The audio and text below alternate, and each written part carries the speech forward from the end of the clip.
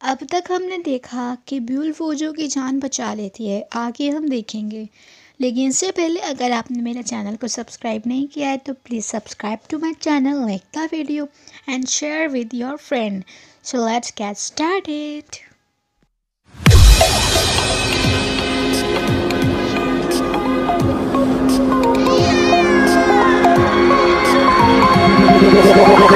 like a Hellcat.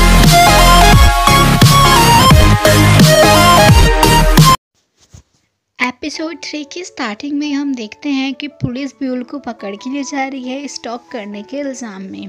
और वो जो ब्यूल को देख रहा है, वो जो अपने मैनेजर से पूछता है कि क्या पता चला उस कुछ लड़की के बारे में तो उसका मैनेजर उसे बताता है, शायद वो तुम्हारी क्रेज़ी फ़ैन है और तुमसे आकर निपट गई। फिर वो उसका फ़ैन होता है वो बूजो को बोलता है कि तुम आजकल गाने नहीं लिख पा रहे। मेरे ख्याल से तुमको जो है डेटिंग करनी चाहिए। क्योंकि जो लव सॉन्ग होते हैं और जो लव होता है, वो दिमाग से नहीं दिल से आता है। तो तुम्हें पहले लव करना चाहिए, उसके बाद लव के गाने बनाने चाहिए। ये चीज़ देख के बूजो भी कहता है हाँ ठीक है, मैं सोचूँगा।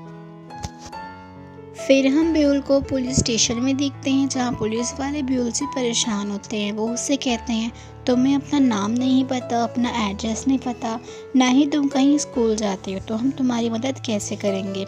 कहीं ऐसा तो नहीं कि तुम हमें बेवकूफ़ बना रही हो। तो इतनी में जिस बंदे को हमने पहले एपिसोड में बच्ची को बचाते हुए देखा था। वही बंदा आता है और पुलिस से कहता है कि, वोजू ने कहा है कि आप इन्हें ना पकड़ें, वोजू ने इस अपना केस वापस लिया है। तो ये देख के हमारे भूल भी शौक होती है। फिर पुलिस वाले कहते हैं, जब वो जो नहीं अपना केस वापस ले आए तो हम इसे कैसे पकड़ सकते हैं? तो वही आदमी जिसने बचाया था, वो ब्यूल को शेल्टर ऑफ़र करता है और खाना भी खिलाता है। इवन उसे वो अपने घर में ही रखता है, क्योंकि वो सबकी हेल्प करता है। फिर हम वो जो को देखते हैं, जो गाना बनाता है लफ्स के ऊपर, पर उससे बिल्कुल भी गाना बन नहीं पाता बिकॉज़ वो कोई चीज़ फील नहीं कर पाता। बिना फील करे वो नहीं लिख सकता। वो फिर अपने डॉग से बातें करता है कि तुम कितने क्यूट हो, और मैं तुम्हारे जैसे अच्छा गाने बनाना चाहता हूँ। फिर हम देखते हैं अगले दिन कि वोजो का एक डोनेट सेरेमनी है जहाँ पे वो जो अपने ऑनलाइन हेटर के साथ कुछ कंबल कपड़े बांट रहा होता है, जिसमें काफ़ी सारे उसके हेटर मौजूद होते हैं जो उसकी हेल्प करते हैं। इन्हीं हेटर के बीच में हमें वो लड़की दिखाई जाती है जो बस स्टॉप पे वो जो के लिए बुरा बुरा लिख रही थी। तो वो जो उस लड़की के पास आके कहता है कि अभी हम कैमरे के सामने तो थोड़ा स्माइल करो। मैंने तुमसे कहा था ना कि मैं तुम्हें बाद में देखूँगा तो ये रही तुम्हारी सज़ा, और अब स्माइल करो। उसी भीड़ के बीच में मौजूद ब्यूल होती है, ब्यूल देखती है कि वो जो बिल्कुल सही है तो वो बड़ी खुश होती है कि वो जो को फ़िलहाल तक कुछ नहीं हुआ। जब वो जो जाने लगता है तो तभी अचानक से ब्यूल की वॉच में टाइमर बच जाता है कि चार मिनट में वूजो की डेथ हो जाएगी। ये चीज़ देखते ही हमारी ब्यूल सोचती है, अब तो ये भाई गया, इसको तो अब एक्सीडेंट होने वाला है, मुझे इसे बचाना होगा। उसे बचाने के लिए वो भागती है तो बंदी खुद ही गिर जाती है और आवाज़ लगाती रह जाती है वूजो इतने में कार में चढ़ के चला जाता है। फिर हम देखते हैं कि ब्यूल को एक कंधे पे किसी ने हाथ रखा और वो होती है गक्षी।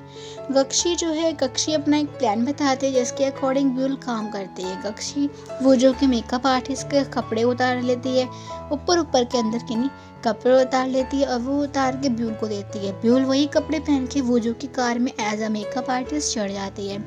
फिर ब्यूल निगरानी रखती है कि कार चलाते चलाते जो वो जो का ड्राइवर मैनेजर है वो सो रहा है और साथ में वूजो भी तो वो जो है ड्राइवर को एक थपड़ा लगाती है, जिससे ड्राइवर एकदम उठ जाता है और कार इधर उधर जाने लगती है। फिर फिर जो है हमारा वूजो अचानक से कार को सही संभालता है और फिर उसे डांटता है कि तुम्हें कार चलाते वक्त ऐसे नहीं करना चाहिए। तो व्यूजो का मैनेजर भी ब्यूल से कहता है कि तुम्हें अगर मुझसे परेशानी है तो मुझे बताओ, इस तरीके से मुझे मारो मत। फिर ब्यूल भी काफ़ी शर्मिंदा होती है। फिर हम देखते हैं कि वूजो और ब्यूल साथ में हैं क्योंकि ब्यूल तो उसकी मेकअप आर्टिस्ट है तो उसे मेकअप करना पड़ेगा। तो ब्यूल जब मेकअप करती है तो वो करती कुछ इस तरीके का है, क्योंकि उसे मेकअप तो आता नहीं है, उसे आता है बस ग्रीन रीपर का मेकअप तो वो ग्रीन रीपर का ही मेकअप कर डालती है। मेकअप देखते कि जब देखता है वूजो कि उसका मेकअप कुछ इस तरीके का हुआ है तो वूजो तो पागल होता है और उसे पकड़ लेता है कि भाई तुम हो कौन? फिर उसे पता चल जाता है कि ये कोई और है, उसकी मेकअप आर्टिस्ट नहीं है।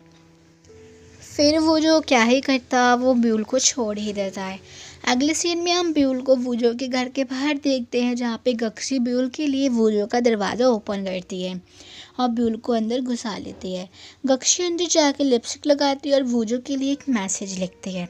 और मीन वाइल ब्यूल जो है वूजो को तकलीफ़ देने वाली सारी चीज़ों को हटा देती है। इतने में अचानक से वूजो अपने घर में आ जाता है और उसे देखते कि जो ब्यूल है, वो छुपके से जाके पियानो के नीचे छुप जाती है। और ब्यूल और वूजो आके ऊपर चला जाता है, उसे पता नहीं चलता कि कोई उसके घर में है।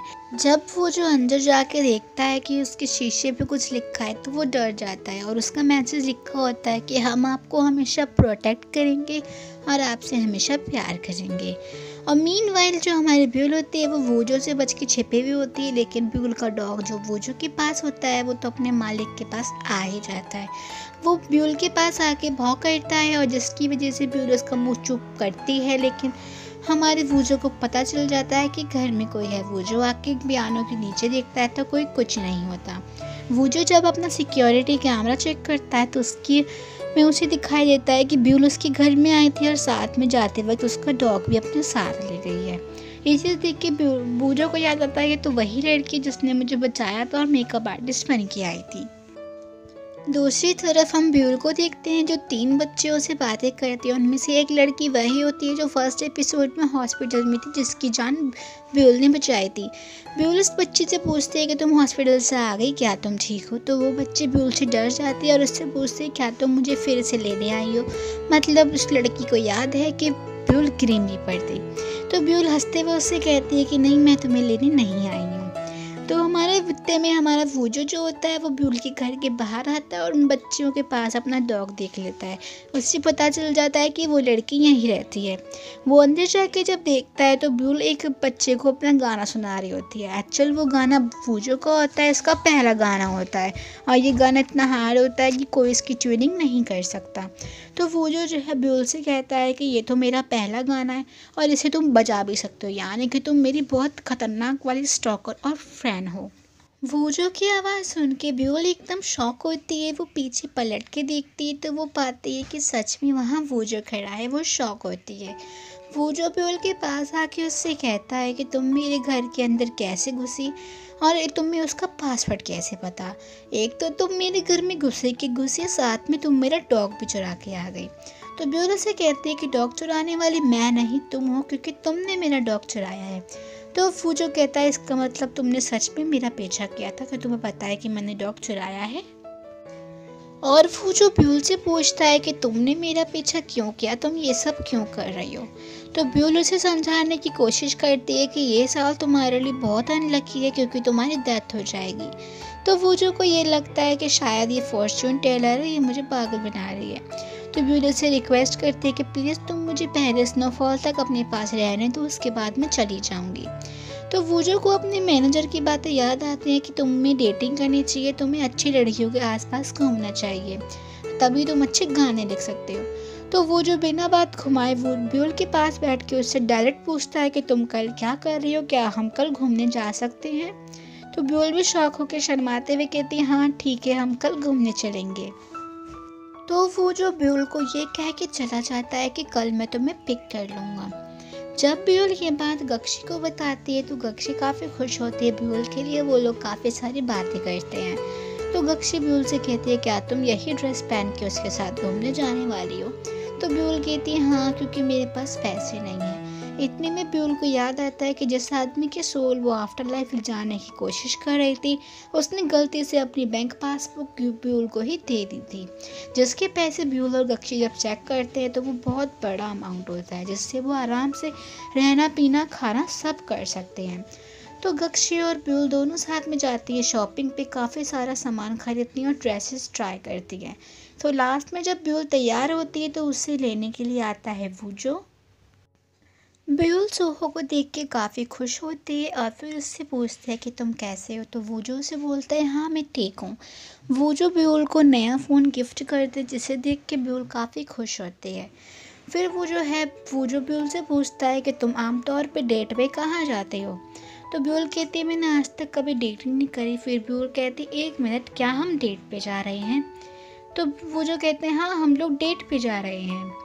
तो ये चीज़ सुन के जो है ब्यूल काफ़ी शौक होती है कि वो अपने आइडल के साथ डेट पे जा रही है और काफ़ी खुश होती है। वो फौजो से कहते हैं, क्यों ना हम अम्यूज़मेंट पार्क चलें? तो वूजो मना करता है कि, नहीं, मैं उस जगह जाना पसंद नहीं करता। तो ब्यूल वूजो से कहते हैं कि, शायद तुम्हें राइड से डर लगता है। तो वूजो से कहता है, नहीं, मेरे को राइड से डर नहीं लगता। तो नेक्स्ट सीन में हम देखते हैं वो दोनों अम्यूजमेंट पार्क में हैं और एक राइड ले रहे हैं, जहाँ पे ब्यूल तो काफ़ी खुश होती है, लेकिन वूजो की हवाइयाँ उड़ी होती हैं, जैसे ही स्लाइड स्टार्ट होती है वूजो तो एक तरफ़ से रोने पे आ जाता है, क्योंकि वो बहुत चिल्लाता है। ऐसे ही वो काफ़ी सारी स्लाइडें लेते हैं, जहाँ पे जो है वूजो रोता रहता है और हमारी ब्यूल खुश रहती है। काफ़ी सारी स्लाइड लेने के बाद जब हमारी ब्यूल वूजो के दिए हुए फ़ोन से फ़ोटो खींचती है तो वूजो आके उसे मना करता है कि नहीं, तुम्हें फ़ोटो नहीं खींचनी है। तो ब्यूल उसकी शक्ल देख के कहती है कि शायद ये सच में डर चुका है, अब इसे आराम से स्लाइड पर ले जाना होगा। तो ब्यूल वूजो को मनाती है कि हम अच्छी से स्लाइड पर चलते हैं। ब्यूल वूजो को बच्चों की स्लाइड पे लेके जाती है, जहाँ वूजो जाने से मना करता है कि ये बहुत ज़्यादा बचकानी है लेकिन ब्यूल उसे मना लेती है। एट द स्टार्टिंग ब्यूल तो काफ़ी खुश होती है लेकिन वूजो को बिल्कुल मज़ा नहीं आता उस बच्चों वाली स्लाइड पे। लेकिन जैसे जैसे टाइम बीतता है वूजो को भी स्लाइड पे मज़ा आने लगता है और वो बड़ी अच्छी नज़रों से ब्यूल को देखने लगता है। इसका मतलब ब्यूल वूजो के अंदर भी ब्यूल के लिए एक सॉफ्ट कॉर्नर बन चुका है। तो गलती से वूजो का हाथ जो है ब्यूल के हाथ से टकरा जाता है, जिससे दोनों हैरान होते हैं। वो जो अपना हाथ पीछे करता है, लेकिन बाद में कुछ सोच के वो वापस अपना हाथ ब्यूल के ऊपर रख लेता है, जिससे दोनों एक दूसरे को देखने लगते हैं। राइट से बाहर निकल के जब वो जो अपनी धड़कने सुनता है तो उसे काफ़ी अच्छा लगता है, क्योंकि वो रियल में डेट इन्जॉय कर रहा था। दूसरी तरफ़ ब्यूल देखते हैं कि उसके हाथों पे सेवन विश के स्टार में से एक गायब हो गया, जो कि उसकी विश से अम्यूज़मेंट पार्क जाना। नेक्स्ट सीन में हम देखते हैं कि वो जो अपना गाना बना रहा है और इस वक्त उसे गाना बनाने में कोई तकलीफ़ नहीं होती, क्योंकि वो बड़े आराम से गाना बना लेता है और वो खुद उस गाने को उस टाइम फील कर रहा होता है। वो ब्यूल को मैसेज करता है कि कल हम क्या करना चाहते हो? तो ब्यूल उसे रिप्लाई करते कि क्या तुम कुछ खाना चाहती हो? नेक्स्ट सीन में हम देखते हैं कि वो जो आया है ब्यूल से मिलने, जहाँ पे ब्यूल ने उसके लिए काफ़ी सारा खाना ऑर्डर करा हुआ है। फिर वो दोनों बैठ के खाना खाते हैं, जहाँ पे ब्यूल तो भुक्कड़ों की तरह खाती है, उसे वो जो देखता है कि लगता है इसने कई जन्मों से खाना नहीं खाया है। वो जो ब्यूल को टिश्यू पेपर देता है, क्योंकि उसके फेस पे खाना लगा होता है। जब ब्यूल सही से अपना फेस साफ़ नहीं कर पाती तो ब्यूल वो जो है उसका टिश्यू लेके उसका फेस साफ़ करता है। फिर उसके बाद उस टिश्यू को फेंकने लगता है। लेकिन व्यूल उस फ्रेशो को फेंकने से मना कर लेती है और कहते हैं कि मैं इसे अपने पास हमेशा रखूँगी और अपने पर्स में रख लेती है। नेक्स्ट सीट पे हम ब्यूल और वूजो को एक गेम के बाहर देखते हैं, जहाँ ब्यूल वूजो को दिखाते हैं कि तुम्हारा पेंडेंट ये बहुत पॉपुलर है और ये मुझे चाहिए। जब ब्यूल उस गेम को खेलती है तो वो उसे जीत नहीं पाती। तो वो जो उसे साइड में करके खुद वो गेम खेलता है, पर वो जो भी उसे नहीं जीत पाता। उसे खेलते वक्त पूजो को काफ़ी इंटरेस्ट आता है और वो उस गेम में लगा रहता है। उसे इंटरेस्ट लेता हुआ देख ब्यूल काफ़ी सारे कॉइन्स उसके लिए ख़रीद लेती ताकि वो अच्छे से खेले। अब काफ़ी सारी कोशिश करने के बाद भी वो खेल नहीं पाता, नहीं सही से जीत पाता, लेकिन तब भी उसे मज़ा आता है। इतने में ब्यूल के वॉच में टाइमर आता है कि वूजो की डेथ होने वाली है। ये चीज़ देख के ब्यूल ऊपर देखती तो ऊपर एक ट्रंक खेल रहा होता है जिससे लगता है कि वो अभी गिर जाएगा। ब्यूल जो है वूजो को देखने लगती है कि इतने आराम से खेल रहा है, मैं ऐसे कैसे बचाऊँ? तो ब्यूल वूजो से कहते चलो, अब हम चलते हैं, हमें ये नहीं खेलना। तो वूजो से मना करता है, नहीं, अभी तो हमने स्टार्ट किया तुमने कितने सारे कॉइन खरीद रखे हैं तो हमें इन्हें वेस्ट नहीं करना। तो ब्यूल को गुस्सा आता है, ब्यूल खुद ही वूजो को साइड में करके एक बनी ले लेती है और वूजो को एज अ गिफ्ट करके उसको पकड़ के वहाँ से चली जाती है। जैसे ही वूजो और ब्यूल वहाँ से जाते हैं, ऊपर वाला रखा ट्रंक फ़ौरन उसकी जगह पर गिरता है, जहाँ पर अभी फ़िलहाल वूजो था। फिर हम देखते हैं कि दूसरा ग्रीन रीपर वूजो का वेट कर रहा था कार में कि जब उसकी डेथ होगी तो वो उसे ले जाएगा, लेकिन वो उसे ले जा नहीं पाता। नेक्स्ट सीट में हम वूजो और ब्यूल को बस स्टैंड पे देखते हैं, जहाँ वूजो ब्यूल को बस में चढ़ा के चला जाता है। और वही ग्रिम रीपर अपने बॉस से शिकायत करता है कि आपने ब्यूल को वापस ज़िंदा क्यों किया? वो वूजो को गार्डियन एंजल की तरह प्रोटेक्ट कर रही है। आपको ऐसा नहीं करना चाहिए था।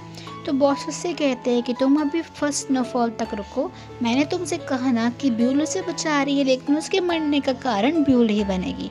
तो तुम रुको और बस देखो। नेक्स्ट सीन में हम ब्यूल को वोजू के घर में देखते हैं, जहाँ वो पियानो के पास खड़े होके बनी के अंदर अपनी आवाज़ रिकॉर्ड करती है और उसको पियानो के पास खड़ा देख वोजू भी उसके पास आता है और दोनों साथ में पियानो प्ले करते हैं।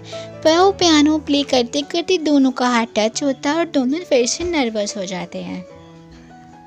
ब्यूल वोजू से कहती है, मुझे घर जाना चाहिए तो ब्यूल वहाँ तक जाने लगती है। पर अचानक से वहाँ पे शेल्फ में रखी बुक्स नीचे गिर जाती हैं, जिससे वोजू देख के डर जाता है और लाइट बंद और ऑन होती रहती है। जैसे हमें दिखाया जाता है कि ये चीज़ कोई और नहीं गक्षी कर रही होती है वूजो को डराने के लिए, ताकि ब्यूल और वूजो ज़्यादा टाइम साथ में स्पेंड करें। तो वूजो डर के मारे ब्यूल को पकड़ लेता है और उसे डरने लगता है। इतने में जो है वहाँ पे लाइट बंद हो जाती है और वो जो हद से ज़्यादा डरने लगता है। और इसी के साथ हमारा एपिसोड थ्री यहीं पे एंड हो जाता है। तो अगर आप चाहते हैं मैं एपिसोड फोर जल्दी से लाऊं तो आप कमेंट करके मुझे बता सकते हैं।